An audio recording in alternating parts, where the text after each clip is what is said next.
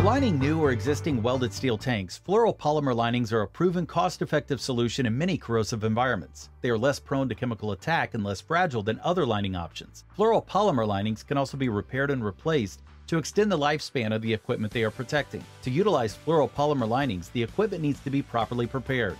Electrochemical specification is as follows. All dimensions and tolerances shall be specified. Fabrication dimensions must allow for lining thickness with particular attention to nozzles, hinge covers, and sight glasses. Tanks or welded parts shall be fabricated in accordance with standard industry practice to obtain a practical product in uniform quality.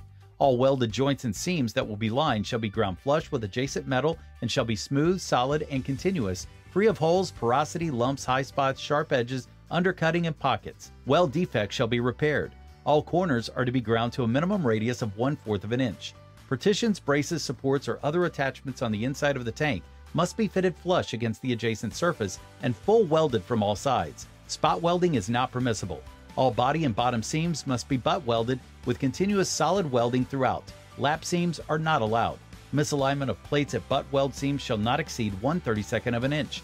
Electrochemical and or the final customer reserves the right to inspect all tanks at the vendor's plant both during fabrication and upon completion. Strongly positioned in the industry, Electrochemical can meet any of your fluoropolymer lining needs and stands ready to help your company succeed.